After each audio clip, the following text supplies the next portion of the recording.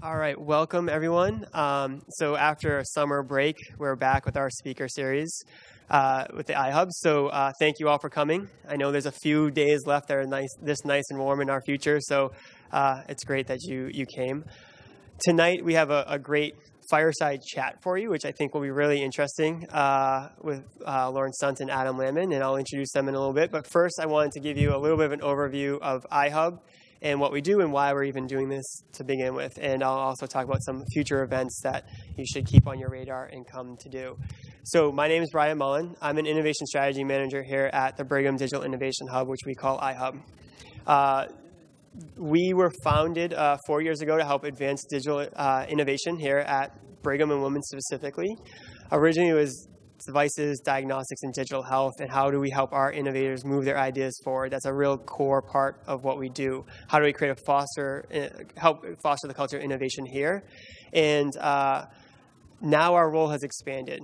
Our role really is to help bring internal innovation forward. So I have an idea, what do I do next, which is a challenge for a lot of researchers, doctors, administration here. So we are the first stop, or we want to at least be, come to iHub. We'll help you figure it out that's the part of the team, the, the projects that I lead is I have an idea, what do I do next? How do we navigate partners? How do I navigate finding the right solution? How do I figure out what problem I have and articulate that in a way that anyone else can understand? How can I start to develop solutions and put this in a way to see if it has commercial viability?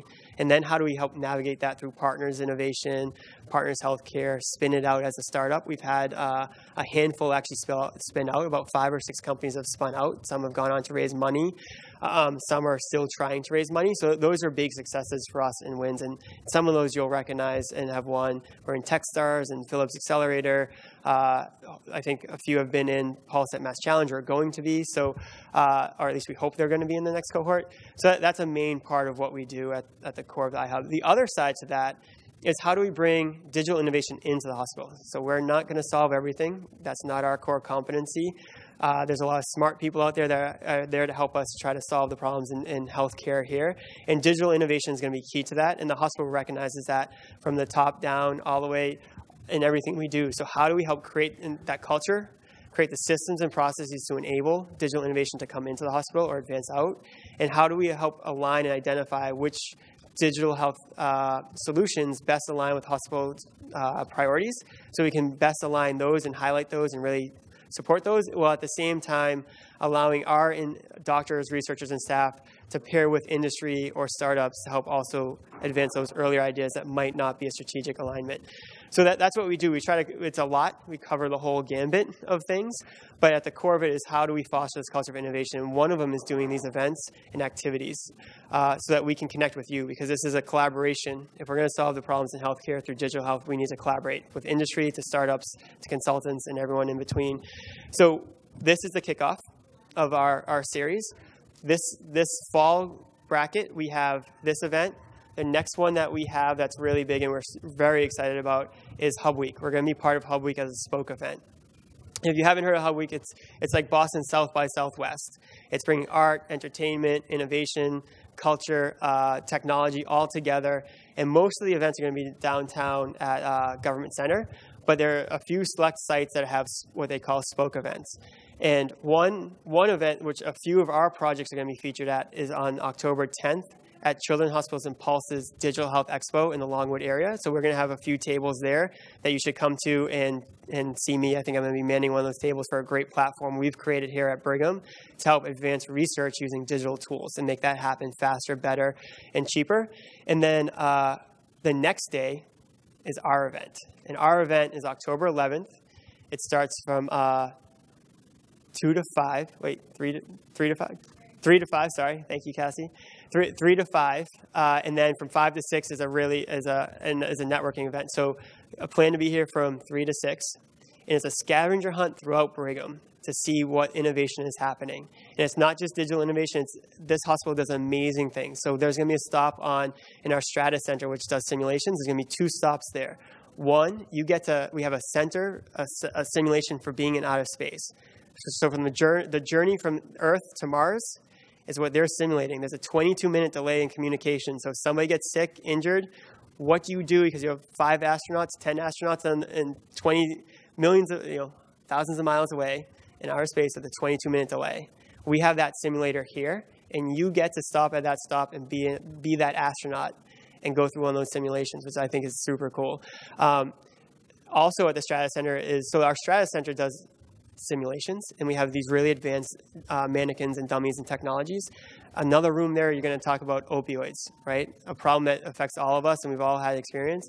How you recognize that somebody's overdose. So we have these very high tech mannequins that can simulate an overdose, and we're going to have one of our top experts walk you through what that looks like and what to do. And he's going to talk about a technology he's researching to help make naloxone, naloxone easier accessible where maybe you can help somebody in a shorter period of time and maybe save some lives in the future. So th- those are two stops. Where you're also going to help us think about the digital future of the hospital and come share some of your ideas about how can we make the experience here at Brigham better uh, through technology. And also stop the bleed, so tourniquets and trauma. We have a, the Stepping Strong Trauma Innovation Center here that was born out of the marathon bombing because we helped many of those victims here. And, and how you innovate in trauma is a big question we think about. But one of the things you all can do is learn how to use a tourniquet.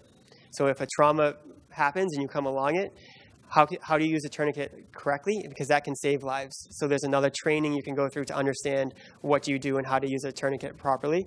And then finally, the big end of our event is going to be uh, a networking session right here from uh, 5 to 6.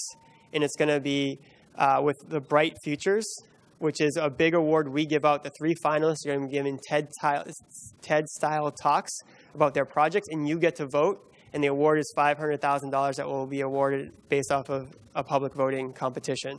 So come network. You'll see some other tables of work that we're doing here at Brigham, and but you're going to hear those talks, get to vote, and hear some really cool and interesting things. So th- that's our lineup. Uh, through October. And then on November 9th, if you're more of a research person, November 9th is Discover Brigham. It's an all afternoon event, and you're going to see the, all the research being featured here at Brigham highlighted. And we're going to actually have a session with uh, Dr. Adam Landman is going to moderate on AI and the future of AI in healthcare. So th- that's your docket. Please write those down. Join our newsletter. Sign up. I think most of you are on it. That's how you know about us. Follow us on Twitter. Do all those fun things. Cassie and the team are always on that. So Cassie and Chen are back there, and we have a great team to do this. So uh, without further ado, um, I would like to introduce our fireside chat members. Is Adam Landman. Adam is our Chief Medical Officer at Brigham Health, the Assistant Professor for Emergency Medicine, and the attending emergency physician at Brigham and Women's Hospital. And he's going to be uh, talking with uh, Laurance Stuntz today, who is the director of the Massachusetts eHealth Institute for Mass Tech, or also known as, as MeHI. He is an experienced and passionate leader uh, working to help Massachusetts leverage the digital health innovation for better economic and care delivery outcomes. So they're going to have a chat one of the goals for what we want to do is and why we do this event is to talk about collaboration. So how are we going to work together? How do we figure out this digital innovation together so we actually get it to patients? So feel free to participate in this conversation. Uh, we'll definitely have time for questions at the end, but I'm sure they'll also take some questions in between and uh, raise your hand. I'll bring you the mic. So thank you all for coming, and without further ado, come on up, guys.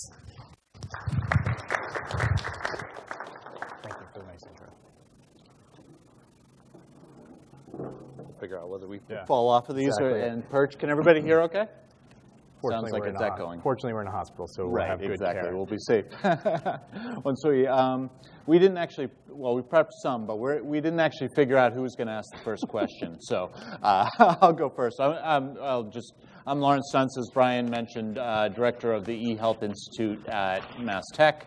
Uh, or MeHI, and we're a state economic development agency, also helping to support technology adoption uh, I'm particularly interested in chatting with, uh, with Adam and with your team because one of the things that we hear a lot from digital health startups is how do I, how do I test my products? This is one of the key areas of challenge for uh, digital health companies is how do I validate that whatever I just built actually works, has an impact on clinical care. So I'd sort of like to you know, pick your brain a little bit on how do we uh, how do you think about innovation? How do you think about accessing, uh, you know, companies accessing you? How do you think about incubating those companies? And maybe we'll start there and, and start from there. It's a great, great place to start. um, so, so first I'd say just at a high level, I think it's really important to acknowledge that companies want to do this. Um, Many of you may remember a comment from the president of the American Medical Association saying that digital health was um, akin to snake oil. Um, and I think a, piece of that is that um, we're very evidence-based, evidence-based in healthcare, right? We conduct studies on drugs um, to ensure that they're safe and to ensure that they have an effect, and they have to go through an FDA review process, and we really want to see that data before we change clinical practice. Um, and so ideally, with new, with new products, whether they're um, IT products or pharmaceuticals or devices, we would have a similar approach. And, um, and I think that has been lacking to some extent. And so first, the realization that we should do this is very, very exciting. Um, and we think um, the Brigham is a great place to do that. So um, you know, we would love to be the partner of choice, and that's really our goal and why the iHub was established, is to really be the partner of choice to do that validation. And I would extend it a little bit um, further you know, the reason we think we're a great place for that is, um, you know, number one, we have, um, you know, expert clinicians in pretty much every field, world-class researchers. Um, we have a diverse group of patients, um, and we have the clinical environment of, in, in which you're in right now. Um, and so I would actually say, in addition to validating, we love to be involved in the design phases um, so that we can ensure that the people who are using those products, either the patients, the clinicians, maybe other staff in the hospital, are actually helping to build a product that will work with their workflows. So we want to be involved in the design stage, um, helping build it um, if the product is in that stage. Um, and then absolutely, as you're saying, we'd love to do the validation. Um, and we think, or we know, we have expert you know, researchers here who can actually do a, a robust clinical trial and then publish um, in a, in a you know, peer-reviewed medical journal. Um, so that's, that's one of our goals and, and the reasons that the iHub was established to facilitate that process. And how do, from your perspective, what looks like an ideal initial interaction with a, with a company, or is there a way? I mean, one of the things we hear from folks is, oh, it's really complicated to figure out who the heck at partners I actually talk to. Uh, I don't know if anybody's ever had that experience. No? They just, so the good news, and I really give the team, the iHub team credit here, um, they've made this really easy. bwhihub.org, and there is an idea share button. You click that, and it, it, it's a way to submit your idea and make the contact. And that's really what the iHub, one of the key purposes of the iHub is to be a matchmaker service. So that an interested um, company that wants to work with the Brigham, um, either on the clinical side, on the research side, has a venue to reach out um, and make contact with us. So um, you know, I give Chen and, and Josie and others really credit for making that process as easy as possible. Cool. Cool. Um, and so as you think about sort of the way that uh, the way that you sort of structure, how do you how do you integrate what you're doing with iHub into the strategic priorities of the institution? I mean, it's you know key key to all of this is making sure that whatever technology is tested, adopted, whatever is matches up with what you're what you're thinking through. Do you so, does that work? So really, really important question. I think Brian kind of nicely set the stage that the iHub has a couple of different, so to speak, missions that we do. Um, one is to sort of accelerate um, internal innovators' ideas, and sometimes that involves matching them with um, uh, partners, um, industry partners, either startups or, or more established companies to kind of accelerate their idea formation. And the other is actually um, to recognize challenges within the hospital and pair with, um, pair with companies, startups to help solve those problems. So I think it depends on which um, pathway we're going down, mm-hmm. but the key sort of for both is that, is that matchmaking. Um, we have to make sure if it's a, if it's a company that has a product, um, that it really does meet a, a critical need in the hospital for us to proceed. And we've learned that if we can't identify a champion for that project, and a champion would be a clinical leader, an operational leader, depending upon the initiative. If we can't find someone internally that believes in this product, says it's an important need, um, that we probably shouldn't go too much further um, uh, with, with, that. And, and similarly, if someone comes with um, a product that they want to validate and they need an expert clinician, we'll, we'll do our best to find the expert clinician pairing. Um, but we, if we don't have that perfect pairing, then it may not be the best fit. And I, and I do think it's important um, on both sides, on the, on the on the sort of industry side as well as on the um, Brigham side to sort of be honest and open um, in those initial discussions with, you know, what is each party really looking for, what are the needs, and really spending time to make sure that um, that we are good partners because th- there's a lot of work to do. It's a challenging process, and and when I've seen succeed is when both parties are truly committed and, and really see the value. Um, at the end of the day, we get through all the obstacles. But if one or the other is um, hesitant or not really sure, that's when it can it can fall apart. Yeah, the um, I was uh, reading uh, the other day uh, just various blog things. One of the the big the biggest competitor that for many digital health companies is do nothing. You know, in terms of bringing you know, and that, and that's an unfortunate reality of of healthcare is healthcare is a very conservative for good reason. We don't want to kill people. We don't want, but do nothing as a competitor is often, uh, you know, the you know it doesn't cost anything, it doesn't take any of your time, and uh, is is something that many healthcare buyers will will run up against, which is absolutely a, a key challenge for digital health companies. Your your point about um, having a champion as well as is one of, I think, the key insights that has driven the Pulse at Mass Challenge program that I know you, you guys were, were a partner, partner in. And I would encourage, just out of curiosity, how many folks here are uh, sort of working on your own digital health company or digital health startup or, or thinking about it? Wow, every other audience I'm ever in, like half the half the audience raises their hand. So uh, actually, out of curiosity, sort of what, how many folks are directly affiliated with the Brigham? Uh, and how many folks are in sort of tech companies outside of? Uh, and where's everybody else from? where, where? So we are from the uh, University Hospital in Reykjavik, Iceland. Uh huh. Okay. We are actually doing a little delegation mission Yes, through the. State Department, We right? appreciate Yeah, yeah, okay. Welcome. Thank Cool, you for uh, Exactly. us. Glad you were able to join us this evening. Okay.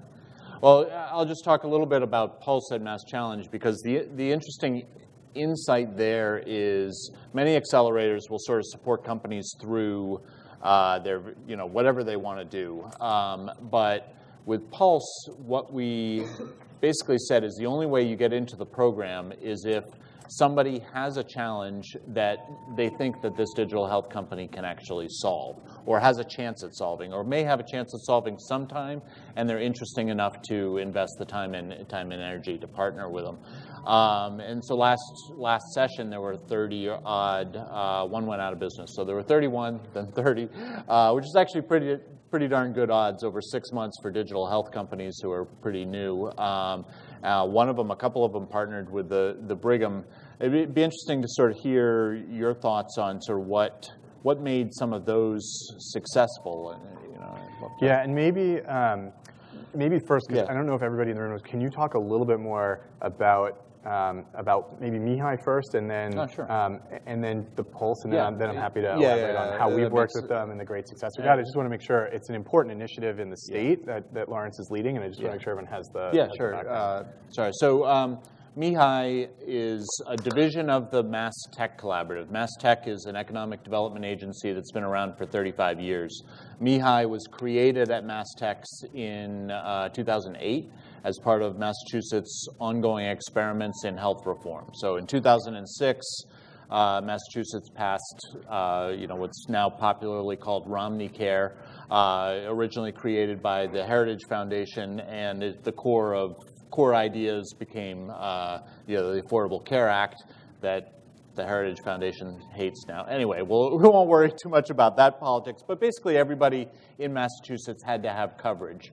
Uh, that was 2006. 2008, there were some reforms, and MeHI was created to, uh, to help support technology adoption by providers. So when we, we started, we basically were focused on electronic health record adoption and creation and adoption of a statewide health information exchange. Um, starting in about 2012, 13, 14, our, you know, we sort of started to talk about this burgeoning cluster of digital health companies. One of the things that uh, the HITECH Act uh, which funded uh, you know, hospitals and, and he- healthcare providers to adopt electronic health records, and then the Affordable Care Act, which has really doubled down on transitions to value-based care and so on. One of the things that that's created is a business model, a much more clear, a much clearer business model for digital health, where uh, where you can get paid for keeping people keeping people well and so on. And so we've seen a huge influx, uh, growth of small digital health companies and growth over the past four years or so. And so MeHI was charged starting in 2014 with supporting the growth of this cluster of companies. 2016, Governor Baker announced a statewide digital health initiative and charged MeHI with being the agency that supports the state's interaction with that. And our, uh, our DNA at, at Mass Tech is around uh, working at the collaboration, sort of the intersection between uh, state government, uh, academic, you, you know, like academic institutions and private companies. And so, you know, organizations like the Brigham with their heavy research, uh, you know, interaction, affiliation with Harvard, uh, you know, are key key stakeholders in, in any of that. And so, sort of broadly within the digital health initiative, our focus is on improving what we've uh, sort of we've organized our work around something called the, that we call the digital health marketplace. And the idea there is that we want, you know, just the core goal of that is to make it easier and faster for Massachusetts companies to go from idea to scaled company. So overall, and we want there's a whole bunch of things that we want to do with that, and a whole bunch of um, sort of pillars of that.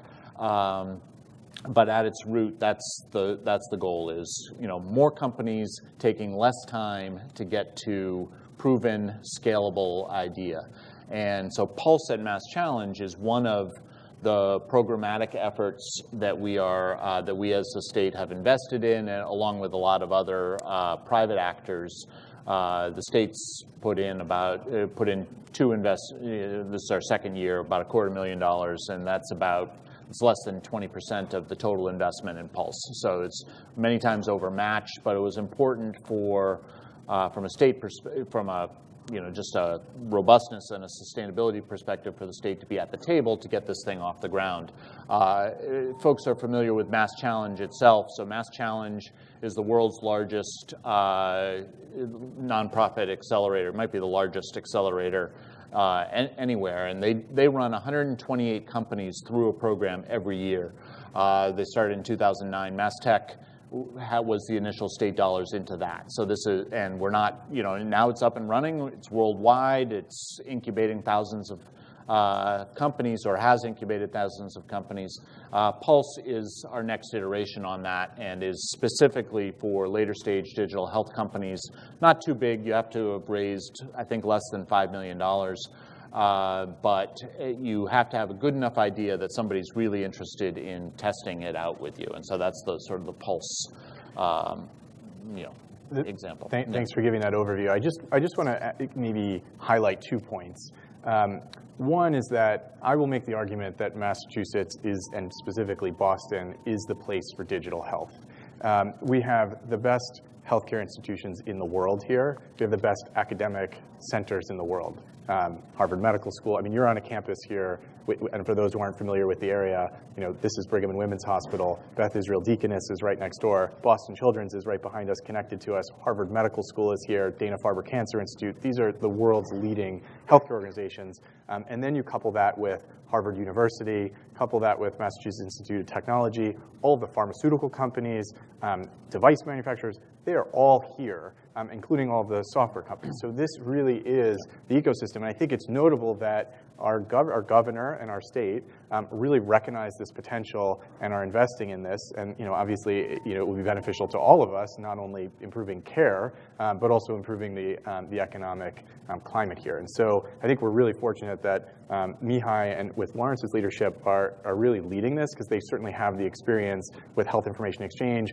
They know all of the players, the key stakeholders in this, and have been able to accomplish a ton in a short amount of time. And it's a huge testament that the Pulse Mass Challenge yeah. is up and running with a digital specific um, cohort and, and already having success. So, yeah. you know, congrats, and it, it's really exciting um, to be part of this larger community. Yeah. Two weeks left to apply for this year's. So last year, 30 companies went through it.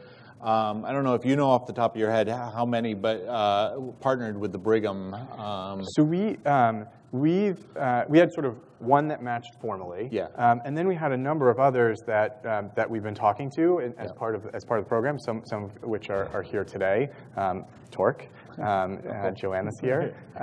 so uh, so you know one thing I will say is that you know, working with hospitals and academic medical centers, it takes time, right? I, I think startups, um, you know, want everything to happen very, very quickly. They're, they're, but but here in our institutions, sometimes things take a little bit uh, longer, um, and there's good reasons for that. Um, you know, we have to get broad support from, from key stakeholders, um, and, and we need to make sure that solutions are, are safe. And so sometimes a little bit of extra time invested up front pays dividends down the road. And so um, we were very excited with the um, with, the, with the company that we matched with at mm-hmm. um, Pulse at Mass Challenge, we were still working through some governance issues and, and still um, hoping, to, hoping to make progress on a, on a live pilot on that. Um, but in the meantime, um, we actually are, are working with other um, Pulse at Mass Challenge companies, including Torque, and Joanna's here, Redox, um, we've just signed an agreement to um, pilot Redox, which we're, we're, Redox integration engine, which we're, we're very excited about and think that that's going to empower lots more relationships uh, through Mass Challenge. And um, Astarte is another company that I think was in the cohort this past year. Um, correct me if I'm. They were in Mass Challenge original. Oh, okay.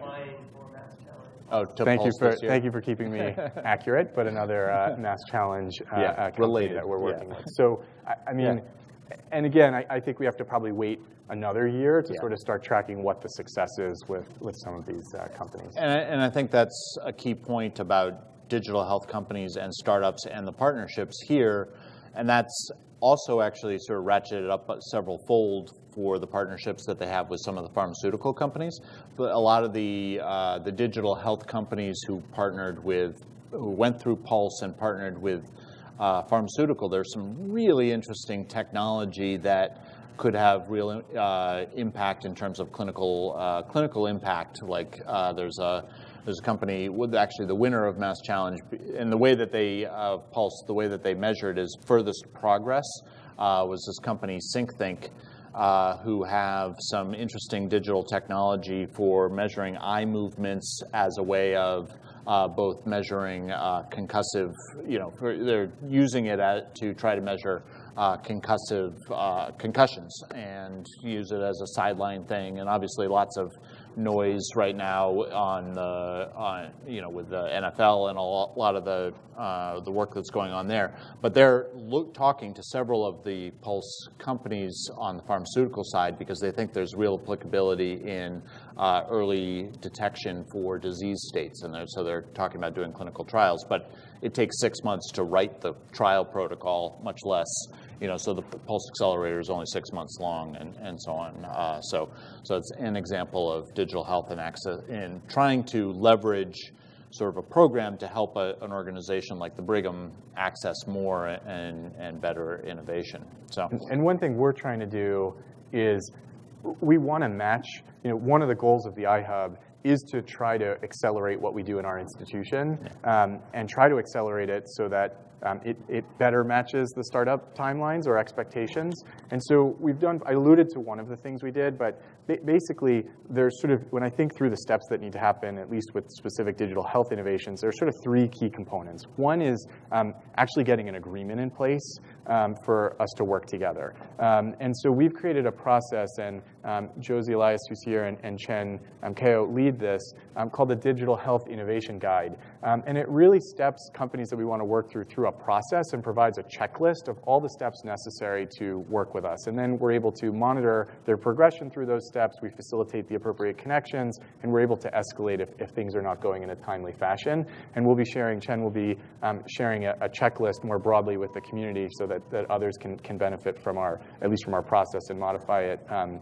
uh, as they see fit in their institutions. So we've sort of created a process to try to get people through the, the actual vetting process um, as quickly as possible. The next challenge we hit is they want data, right? We need to find a way to get our clinical data to the startups, the appropriate clinical data. And so this is where the partnership with a Pulse at um, Mass Challenge company, Redox um, integration engine comes into play. Redox will allow um, the Brigham, we will basically send one interface um, of our data. So we'll send um, ADT, admission, discharge, and transfer data, scheduling data, orders data, results data to Redox one time. So we'll, our team, my teams, will have to do one interface. Redox then will um, map that data to their own standardized um, interfaces. And then startups will work directly with Redox to be able to make the connection. And Redox publishes um, their APIs um, on, so that startups can easily connect. Um, and um, companies that are working with the Brigham will be able to do that um, at no cost to the company. Um, and so we think we've, um, by doing that, we've removed the bottleneck of these startup projects competing with other operational demands in the hospital. Because if there is an operational need for us to connect, let's say our EEG system that's being used in the hospital and we want to integrate that, that is clearly going to take priority over our you know, Pulse at Mass Challenge yeah. startup that we want to sort of do a pilot with. And so we're hoping that that's going to be an important step uh, for us to actually accelerate getting data. Um, and we look forward to hopefully testing that with um, our first company, um, Torque, in the, in the coming um, weeks. Um, the, the, the next piece is once you get the data, how do you get your, your innovation into the workflow of the users? And in our case, most of our clinicians and other staff are spending most of their time in the electronic health record system. And again, that becomes an ask to our electronic health record team, which is busy with lots of other um, priorities. Um, and so what we've done is created a research and innovations portal. It's basically a container app that allows us to very, very quickly integrate web applications. They can be standard web applications, SMART on FHIR applications, um, but enables us to get that done very, very quickly. There's still a little bit of due diligence and governance that has to happen, but the actual process to add a link to an, to an external website is very, very quick. quick. So now you're able to very quickly get that in the environment that our key end users are using every day. And so we think that the combination of those three infrastructure pieces will enable us to work much, much quicker um, with startups. And we certainly look forward to testing ourselves, since it's a bit of a, a, startup iteration. We look forward to testing that over the next couple of months to, to years, iterating our process so that we can be faster, more nimbler, um, and, and really able to be the best partner we can to startups and industry alike.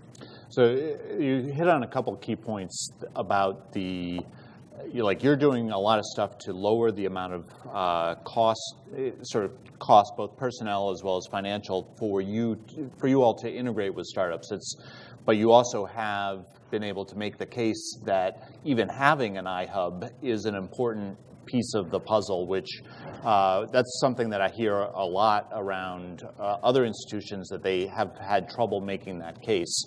How do you how do you think about the value that an iHub delivers to the Brigham, and and how do you sort of make it a st- strategic enough priority to to invest, yeah. you know, in spaces like this?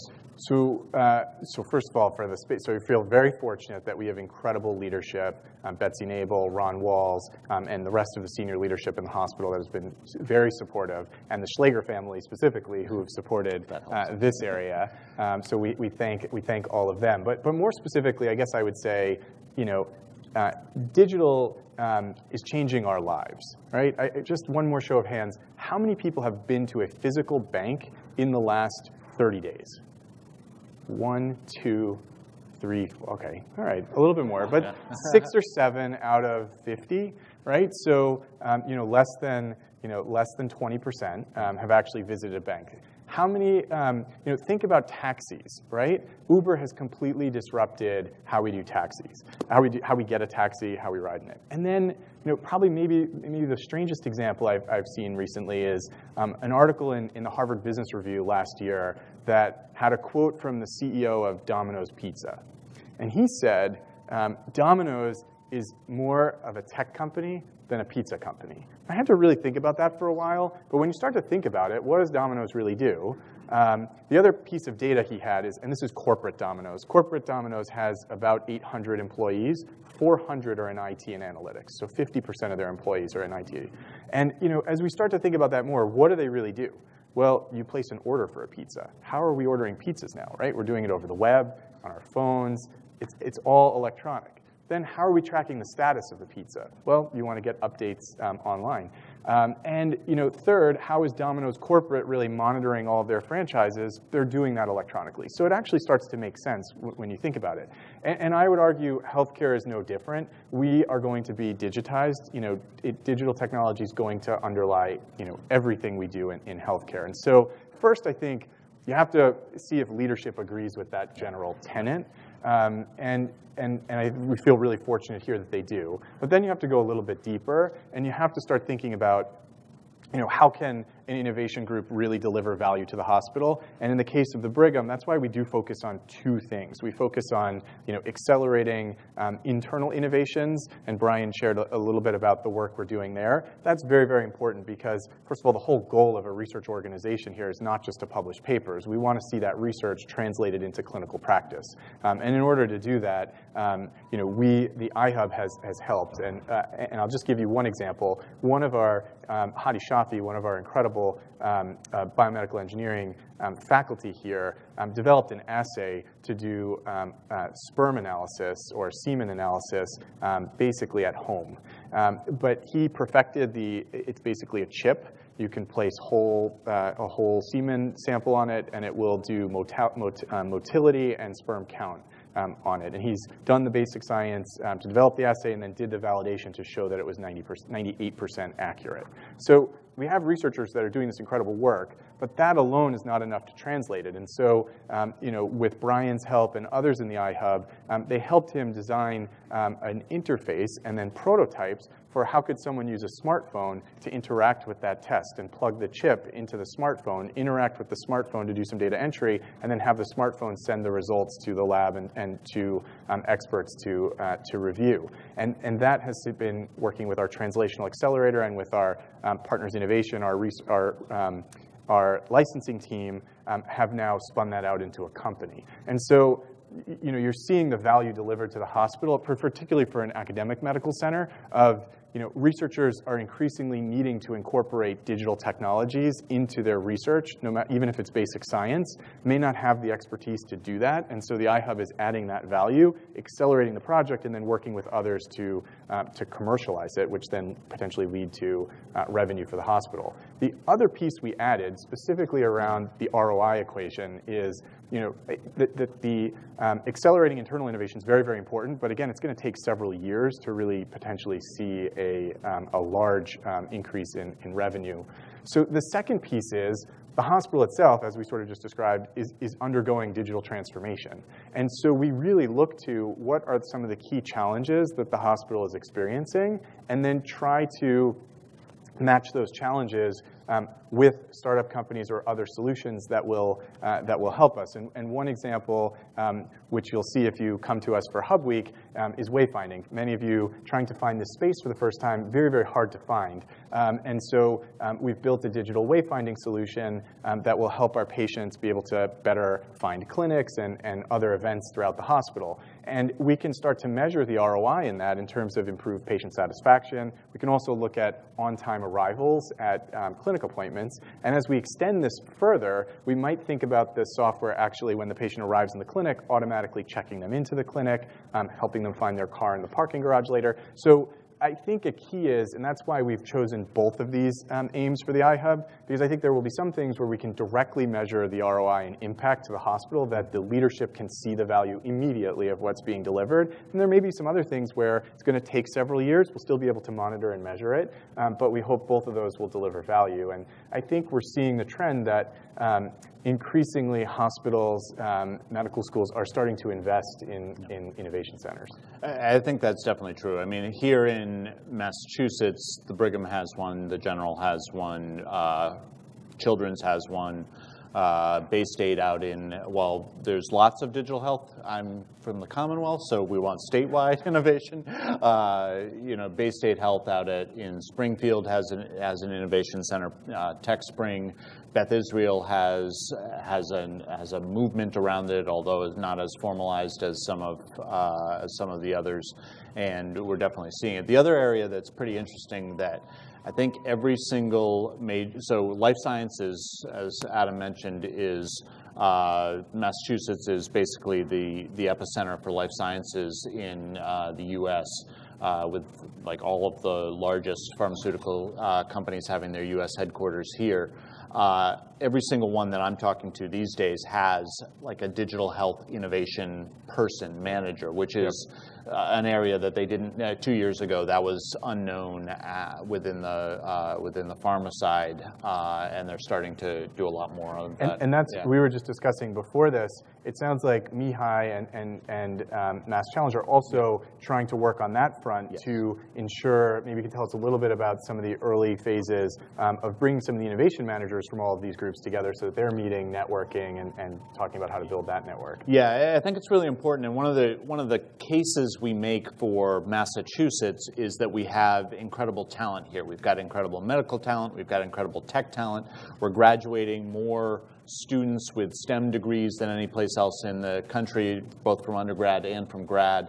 Uh, and then the you know this this muscle memory and this sort of there, there's a real science around driving innovation within an organization within an institution. So uh, in partnership with brian and uh, bev hardy and then innovation managers at uh, mass general and Spaulding rehab and beth israel and a couple of other places uh, we're bringing together a group of innovation managers, and this is really done, driven by them, sort of saying, hey, we, we need a better way to codify our work, to share best practices, to network with each other, to uh, express our value to the organization, and to learn from each other. And so MeHI's role in that is really as a convener and as a supporter and as a coffee provider. So, you know, we, we provided, you know, the very expensive, you know, coffee, uh, donuts, and uh, which were left off, uh, you know, on the table for the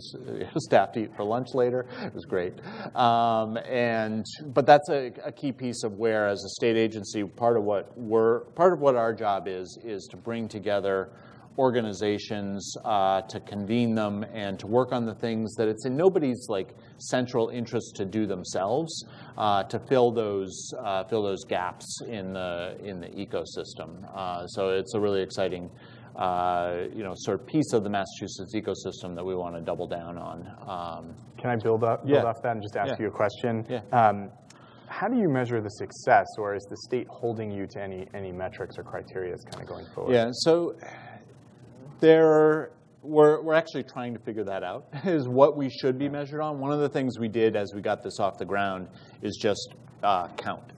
count the number of companies that exist in, uh, in the ecosystem. Um, so, you know, when we first had, and, you know, we, we did this two years, two summers ago, uh, and we came up with about 200 companies now there are, you know, and I don't think that, I think we missed some in the Yep. first pass, but at massdigitalhealth.org, there are 350, or I think uh, I was talking to uh, one of the team today, she said there were 360 now digital health companies headquartered here in Massachusetts. That doesn't count the extraordinarily large companies like Microsoft, Optum, Google, uh, IBM, who have put a lot of their digital health work in Massachusetts, in Cambridge, or in, or in Boston. So those are uh, some really interesting stats. I mean, it's it's huge. So we that's one piece. We measure, you know, we count individual programs like Pulse. Uh, we will be tracking over years as we try to figure out.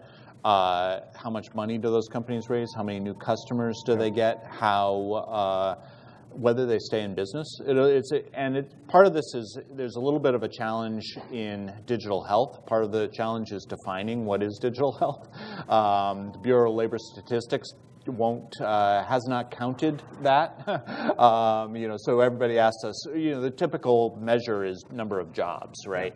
Uh, it's really hard because they count tech jobs, they count healthcare IT. So your entire uh, IT staff at Partners Great. is counted We're in happy one of to those. contribute. We're happy to contribute. Um, so that, that's one, uh, or those, that's some of the challenge. But I do think that there's some qualitative measurement that we're thinking about, which is how easy is it to do business? Like how many of people's initial customers actually are here in Massachusetts? That's one of the things. How easy is it to, you know, how many of the companies have innovation managers or how many of the customers have innovation managers? How, uh, you know, those sorts of more qualitative uh, things are important for us as well. This is great. So- I'm gonna, you know, we have the same challenges here Yeah. of measuring. So It's Exactly. great to hear. It's early stage, and we Yeah. look forward to partnering Yeah. with you.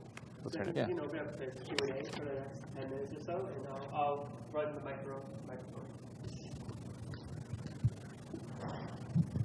Hi, thank you for a great presentation. I'm sorry it was a bit late. It was a long journey. Um, I have a question in terms of putting this together. The, the heart of this is data, whatever we're doing. And a central issue, particularly around clinical data, are the contexts in which the data are generated. And so, what I'm curious about is to what extent are you trying to look at the issue of, for an individual data point, how do I document within, in a sense, within that object, what generated the data point? So, for example, there'll be subtle differences between labs. Uh, there are all sorts of things, digital devices, uh, huge differences, so that when the clinician begins to lever that data, they know that X here and X there are actually comparable data points. Yeah, it's a it's a central problem. Um, it's, it's probably one of the grand challenges in informatics, you know, for the last 20 years. Um, you know, I think that's why we're excited about the Redox partnership. Um, they have pretty standard data dictionary. We will do our best to map our data to their data dictionary and do our best to ensure that the data we're pulling is um, what the clinicians, where the clinicians are putting the data elements, that we're getting the accurate data, um, and that they're well defined for others to use. Yeah, so the, well, for some data, right? So I think it's the metadata, it's a, it's a really important. And I would say for our physiologic data, our biomedical data, we're, we're very, it's, it's very important that we document, for instance, what's the source of the blood pressure measurement? Um, did it come from an arterial line? Did it come from a manual blood pressure? Um, so I think that becomes very important. Um, you know, for a note, you know, who wrote it, what time did they write it. Um, so I think it, the, the, metadata depends on what data element, but yes. Yeah, and I, and I would actually argue that you're talking about issues that we're going to run into 10 years from now once we solve the yeah. problems around access, just basic access to data basic capacity to uh, make the data electronic and combine it into, large, you know, so where, where I'm going with a lot of this is even in just kind of, even in uh, just standardizing ways that digital health companies will interact with institutions to get access to data. Uh, the Redox example is a really interesting one because it has the, the promise that as Redox, to basically exponentially increase the access that startups have and new and digital health companies have to data. So if Torque, you know, works with Redox, as Redox signs up all of the hospitals that they have as customers, Torque will be able to sell their product into each of those other hospitals. And so that, that solves a large problem, and Torq doesn't then, theoretically at least, have to uh, you know, do a new data use agreement and a new uh, data agreement. But you know, we have um, across the state of Massachusetts, we're probably better than any place else in the United States in terms of digitizing like visit data, electronic health record data. All the hospitals have uh, electronic health records, 95% of physicians, about 90% of skilled facilities. Um, ONC uh, just did a study, uh, the Office of National Coordinator. Only 60% of skilled nursing facilities in the country have a uh, electronic health record, and that is like hugely beyond what it what it used to be. So uh, we have a, a, problem just getting the data. You know, at a place like the Brigham, a lot of our data is already electronic and, and somewhat integrated, and, and we can start worrying about which device created the data. But but, yeah. I, but I agree. It's an important question to be able yeah, to meaningfully absolutely. use the data. And the more we can think about the ontologies that we're storing, the metadata absolutely. that we're storing with the data now as we're establishing the databases, the, the better it'll pay off in the long term. So really, really important point. Thanks for thanks for raising it.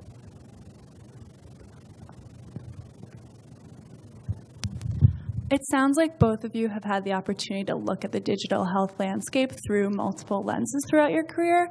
I was wondering if you could talk about some differences you've seen approaching this world from the clinical, private, and public sectors.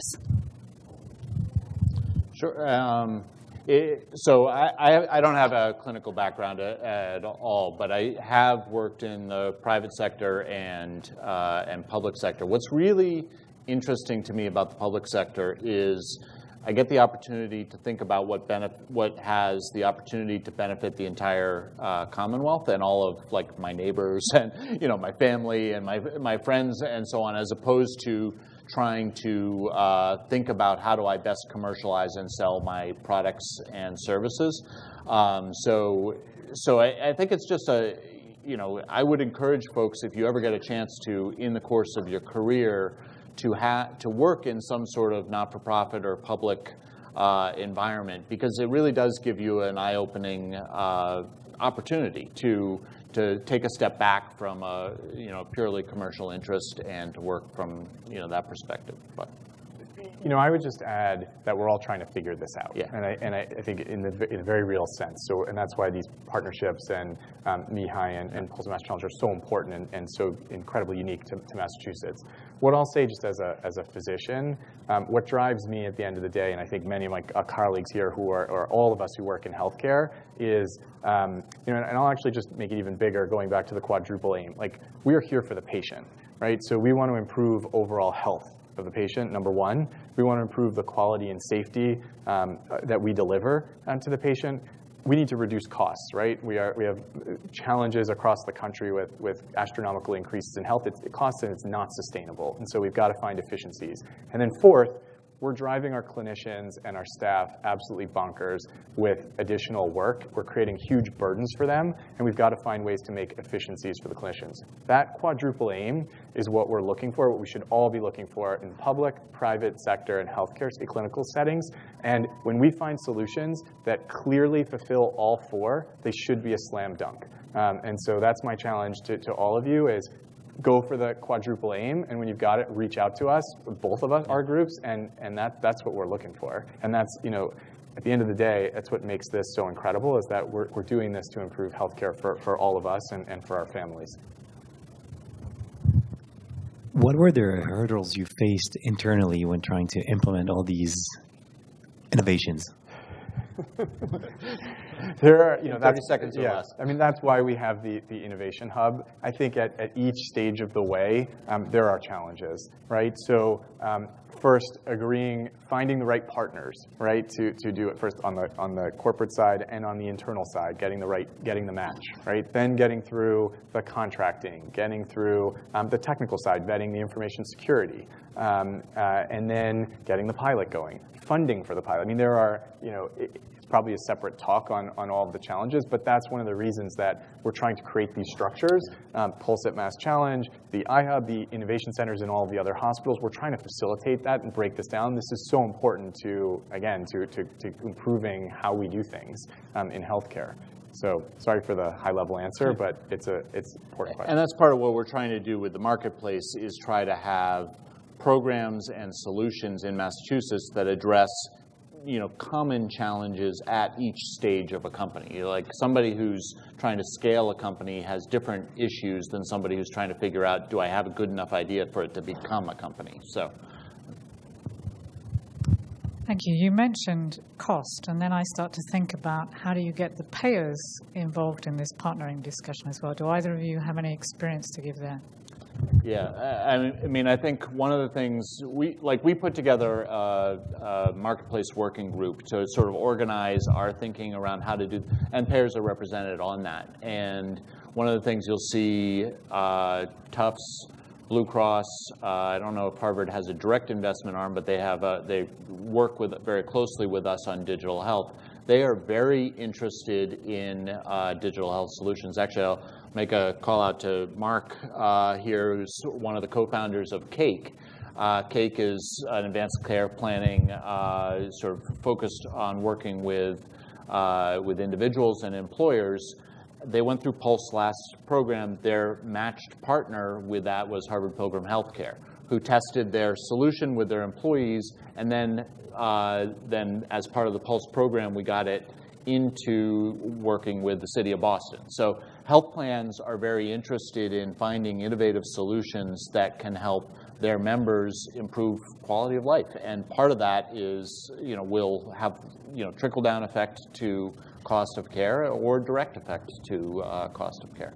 I agree. And, and one of the nice things about Pulse at Mass Challenge is that multiple groups can come together and sponsor um, sponsor an initiative. And so in some cases, you'll have a health system and an insurer and maybe a tech company or a farm company all come together and work on a project together. And, and I think I feel really fortunate um, in the Innovation Hub that we have Dr. Jeff Greenberg as our medical director who has extensive experience with our physicians organization who negotiate the contracts with our insurers and has insights and um, relationships with the folks that are doing that. And so, um, you know, those are, those are specific areas and needs that when we can find the right solution make a lot of sense. One, one last question. Um, I just have one question. Um, many of the current AI approaches are data driven. That is to, to, say, if there is no data, they can't show you anything. I just want, I'm wondering if there is a startup saying they have some ideas, but they just need the data to start their algorithm, for example, to train their algorithm model, and then they're going to show you something. How do you select those startups where they cannot show you anything, but they have some general sort of computational ideas, but they just don't they don't have data? It's a great question. You probably you probably have some insights yeah. into some initiatives on this as well. I'll just say for us, it comes back to creating the relationship. Um, and so if we can find, you know, we're a research organization as, as well as a clinical, you know, delivery organization, usually with the very early stage companies, particularly computational, we're going to want to link you with a researcher here that's interested in either the problem or has similar skills. When that connection can be made, then we have mechanisms of creating sponsored research agreements and, and other agreements that allow you to collaborate um, with one of our internal experts um, to be able to access data and to be able to access the expertise of that particular primary investigator and the rest rest of our community. So that's why um, that match process and then the agreement that subsequently follows um, is, is necessary in general to access certainly identified data with, with from, from our institutions. And one of the things uh, we're looking at statewide as we as we think about this key challenge is establishing uh, sandbox environments that digital health startups can get access to, either with uh, faked data uh, or synthetic data that are created in real time off of large data sets. There are a couple of in really interesting uh, technologies, uh, both from like MITRE Corporation, who are, you know, they're a federally funded uh, research and development center who have created open source tools for creating large volumes of synthetic data uh, and a couple of private companies that we're talking to about opportunities to create synthetic data because we see this as a key issue that uh, you can't tell if you've got a good idea until you test it, and it can be very expensive and time consuming both for uh, the data holder uh, and potential, not dangerous is the wrong word, but there's, there's concern that a data holder has around giving you know, new startup that they don't know uh, access to that data, uh, as well as, so it'd be better if, and that can be also complicated and time consuming just from a legal agreement, it'd be better if there were synthetic data sources that would be safely available to the startup. So we're trying to, we're working on uh, activity to create that as a piece of the ecosystem. And I'm just to just to build up that it's an awesome that would be an incredible resource yeah. for the entire ecosystem. Absolutely, I'm thrilled yeah. that that's a priority. Um, I, I, will just add that for years we try to test our own internal systems with test data. Yeah. And this is from my IT hat, not my uh, not my uh, innovation hat. But we have trouble creating our own test environments and populating them with realistic data. Yeah. Um, and we try to de-identify. It's very hard to de-identify. There are some promising startups in this space, and we're certainly excited to see where that goes. But that's why I think end, once you get to a certain point, you really do need to be testing with real clinical data. Back to the original, one of the first questions, the context is important, so understanding um, the workflows. I'll argue in healthcare, you can get a solution that works for 80%, relatively easy. Um, it's that long tail um, that is very, very difficult with everything we do in healthcare IT and digital health. And you may not think it's important to get the 20%, but here's why it is important. When, we're, when we have um, you know, uh, 60,000 ED visits a year, you know, several million um, blood draws um, every year, um, you start to see the tail. The, the last 20%, it's just a, you know, the law of large numbers. You start to see it. And if you haven't addressed those, you can actually have very significant gaps that can lead to patient safety events, including death. Um, and so, you know, that's where this space becomes really tricky. In other spaces, you might be able to get away with the 80%. In healthcare, in some cases, you got to have 100%. Um, and it's got to be well tested and validated, or we run into trouble. And this is, you know, again, speaking from my health IT experience, where you know we implemented a new lab system, and you would think, well, if a test is only ordered once in a while, you know, maybe we don't have to pay as much attention to it. But actually, you have to pay as much attention to that as you do the, the CBC that's ordered, you know, thousands of times a day. So um, just just some challenges on the data side. And this is actually, this is an area, data, data access, access to integrated data is, I think, one of the key challenges that we have to overcome in, uh, in digital health. And we have to make sure that investors and startup entrepreneurs recognize that this is time consuming and can be expensive and should build that into their business plans. Uh, I hear a lot, well, just give me access to, you know, just to, Mr. Hospital, just give me access to the data. I'll prove that my solution works. Healthcare data needs to be protected uh, much more sort of seriously than a lot of the a lot of the other data out there for a, a lot of reasons. So, and, and I'll just add, you know, one thing you know, that, that sort of keeps me up at night. Um, first of all, I have young kids, so they, they other than that. But, um, but other than that, um, you know, information security is, is, really an issue. And if you didn't realize it before, we, we saw Equifax, right? And that affected half the United States population, right? So, um, you know, with healthcare data, it's even more sensitive.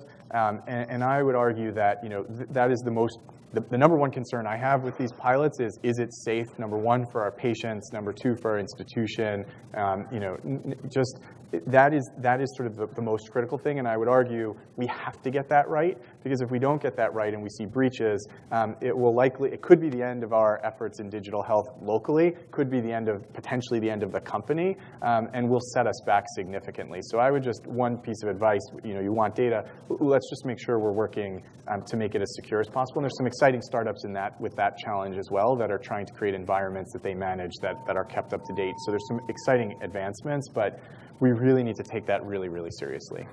Cyber, cybersecurity needs to be built into digital health companies way earlier than it has been uh, traditionally. This is actually a key initiative of the governor's as well that MassTech is uh, organizing. So there was a cybersecurity as part of his sort of economic development and sort of focus on the tech economy. Cybersecurity is a key piece uh, we ran a statewide cybersecurity forum for the governor and for uh, a whole bunch of stakeholders across all industries a couple weeks ago. And, and at that, uh, Governor Baker announced that at Mass Tech, we're going to be launching a cybersecurity uh, resource and, and development and growth center for that will, and part of my job is to make sure that the digital health initiative is tightly integrated with that cybersecurity resource center and growth center. So. So I'm sure we can talk all night. So thank okay. you so much for this. This is exactly what we were hoping to, to get into a conversation. So uh, thank let's thank Laurance and, and, and, Dr. Landman for their time. Yes, thank you. Thanks. This is great. Thank you, so thank you all for coming.